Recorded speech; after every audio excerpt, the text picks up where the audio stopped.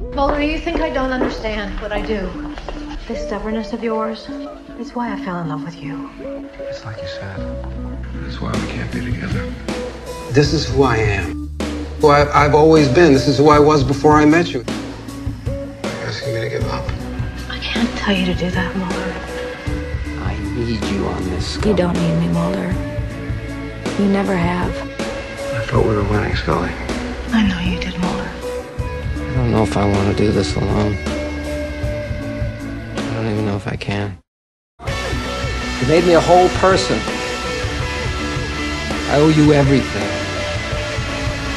So you owe me nothing. I love you. And I'm asking you to let it go. It's not that simple.